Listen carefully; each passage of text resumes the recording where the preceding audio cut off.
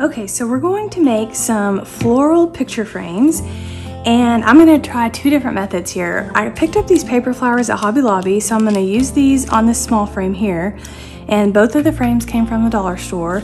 And then my uh, the other method I'm gonna try is using plaster of Paris to dip these, um, these silk flowers that are from the dollar store and make those hard, and then I'm gonna attach them to this frame and then we're gonna paint everything. So to get started, I'm gonna work on this one first. And I'm gonna go ahead and put a light coat of this chalk paint on. I think it'll just help once everything is, once I put my flowers on, that it'll all be painted really well.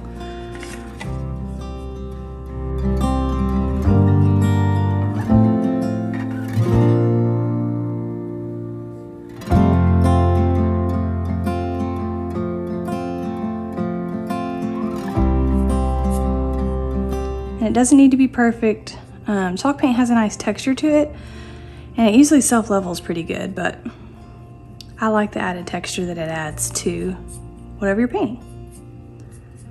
Kind of gives it some character.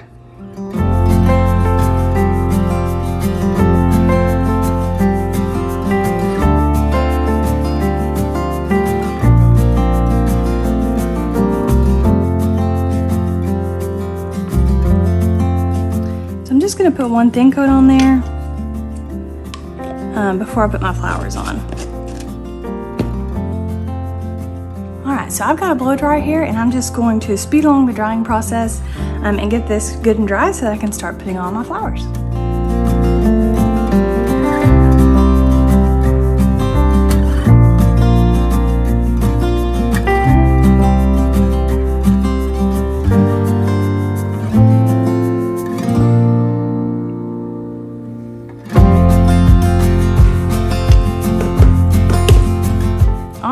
Good and dry. So now I'm just gonna use a couple of these paper flowers and my plan is to paint these. Um, if you like that shabby chic look, it would be cute just to leave them this light pink color. But for this project, I'm gonna go ahead and paint the flowers. So I wanna put just a few kind of in the corners, like they're going up a little bit.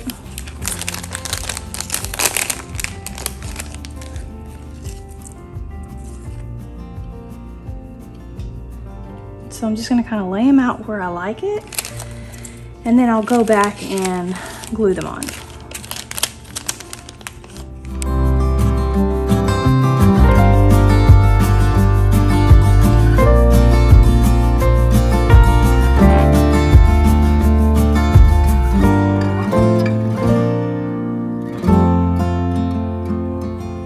I kind of like how it looks like with them hanging over just a little bit. I think that looks cute.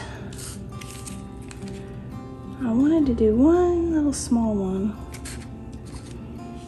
there.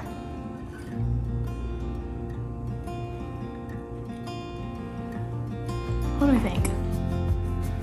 Okay, I like that. I think that'll be cute. And then I'm gonna paint them all white. Okay, so I'm gonna move this to the side. And I'm just going to take a dab of hot glue and glue this down.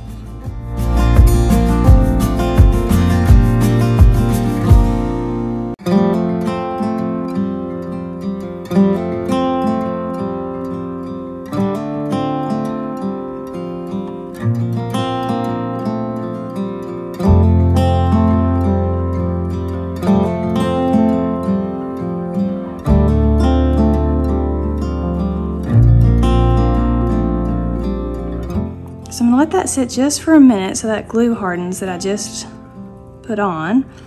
And then I'm gonna go back in and paint these. So I'm gonna use the same chalk paint, and this chalk paint you can pick up at Walmart. Um, and since these are paper flowers, I'm gonna do several thin layers so that the paper doesn't start um, getting droopy.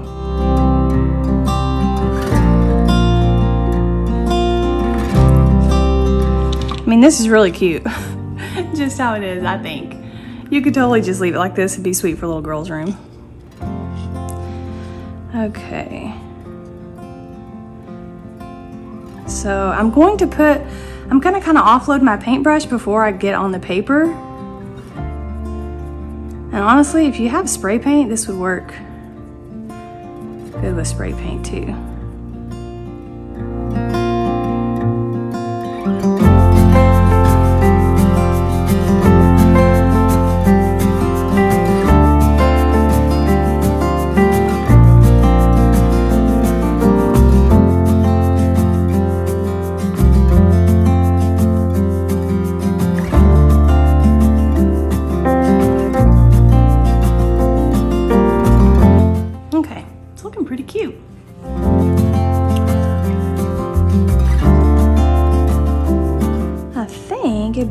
Cute to put, I mean, of course, a little family photo or something in here, but I think I'm going to put um, a little quote about flowers.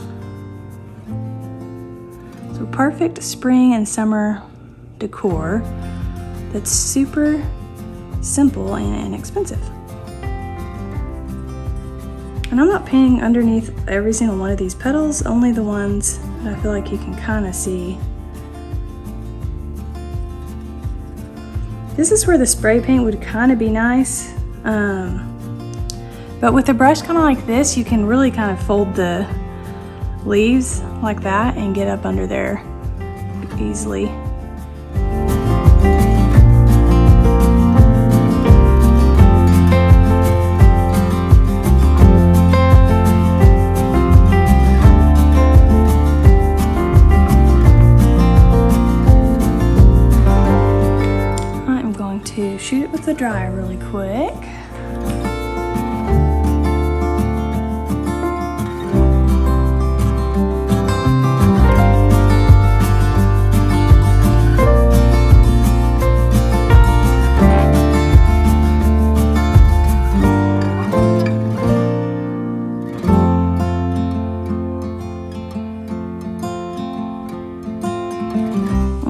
So as the flowers dry, they kind of are gonna get a little bit crispy, which is what you want.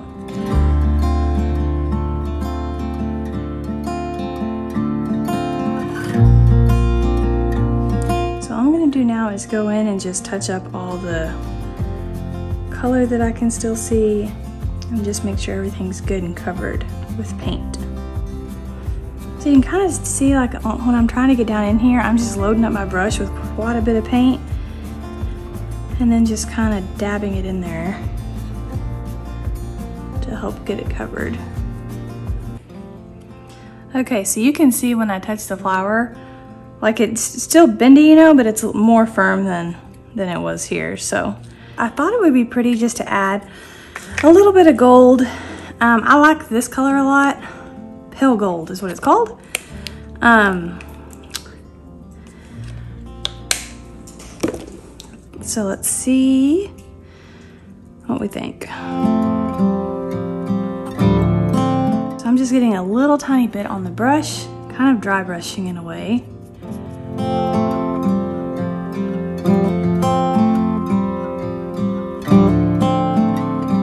And if you ever feel like you've got too much gold somewhere, you can always go back in and add white paint over it and just kind of layer everything, which I always think looks really nice.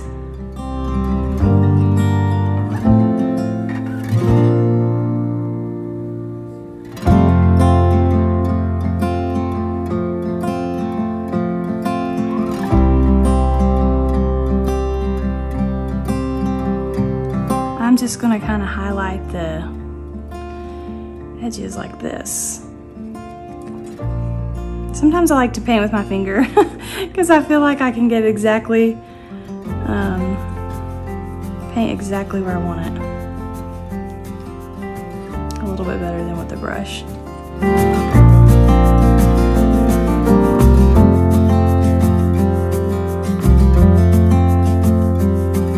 Okay, so there's that. So I'm gonna put a cute little quote in this one and call it done.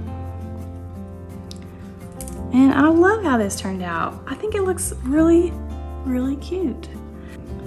Okay, so the next one I'm going to do is this frame right here. And it has these little paw prints on the bottom, but I'm just gonna cover those up.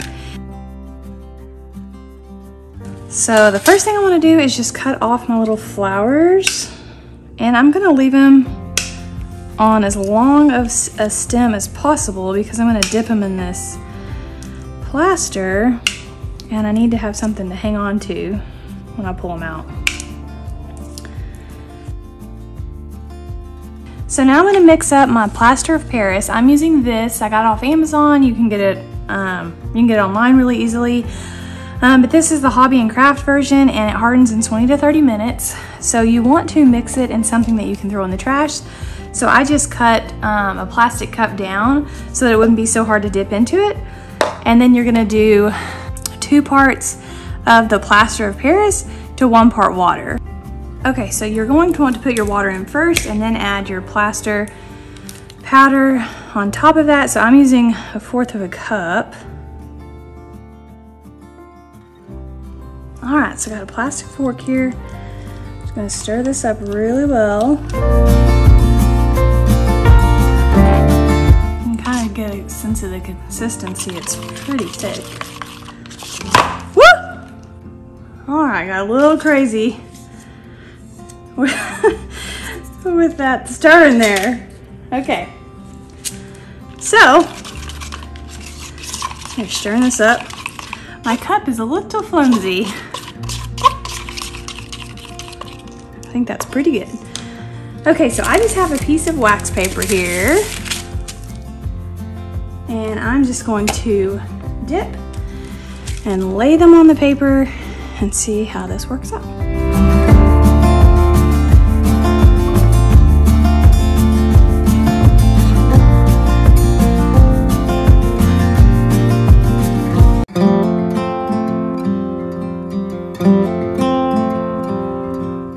Okay, so I think I'm gonna try and just slip a few of these flowers into the centers here. Kind of make them a little fuller. They're pretty good and dry. So they still have the stems on them. And then I'm just cutting off um, as close as I can to the base. And then I'll use that to kind of put on here. And I think it looks best to go ahead and add um, like you can see, I have them layered. Um, so like stick some, stick some of these little paper flowers in there. I just feel like it makes it look a little fuller, like an actual um, flower.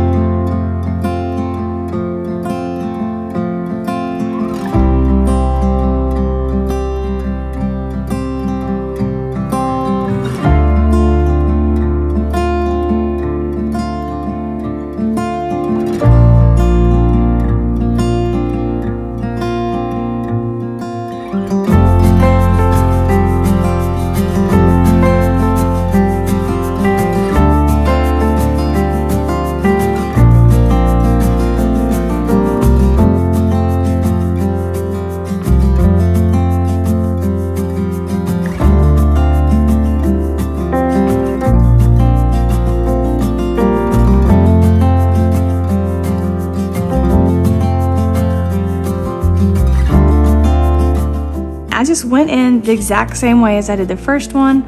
Um, and I'm basically just getting in between all the little petals and getting some good coverage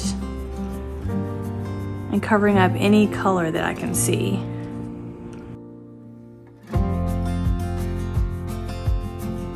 Okay, so now that this white is completely dry, I'm gonna go back in with a little bit of this gold paint here. So I'm using this color gold again. And I'm just gonna do the same thing where I kind of dip it and then dry brush it and brush it on.